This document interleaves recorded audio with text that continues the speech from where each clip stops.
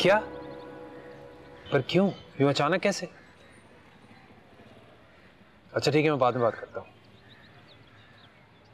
क्या हुआ? किसका फ़ोन था? फरहान की कॉल थी। उसने सारा को ऑफ़िस से निकाल दिया। क्या? अब क्या होगा? कहाँ गई अब फिर वो? वही तो मैं भी सोच रहा हूँ। उसके पास तो कोई और घर भी नहीं है। सिवाय जहीन के। ऐसा भी क्या हो गया उसे नौकरी से निकाल दिया? अब अब तो उसे फ्लैट खाली करना होगा। वहाज मैं मैं ये सोच रही हूँ अगर वो घर वापस आ गई तो? मैं तुम्हें बता रही हूँ मैं उसे घर नहीं घुसने दूँगी।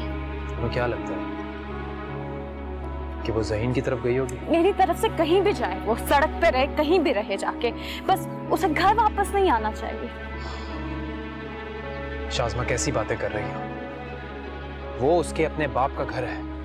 अगर वो वहाँ पर आ गई उसे शोर शराबा किया मोहल्ले वालों को इकट्ठा कर लिया तब तो तुम्हें उसे रखना ही पड़ेगा ना? तुम तुम कुछ करो ना। करते हैं। करते हैं कुछ। लेकिन सबसे पहले ये तो पता चले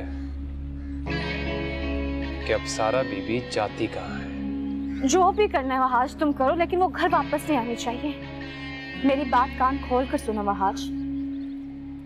अगर तुम अपने चक्रों में हो ना तुम ऐसा कुछ नहीं हो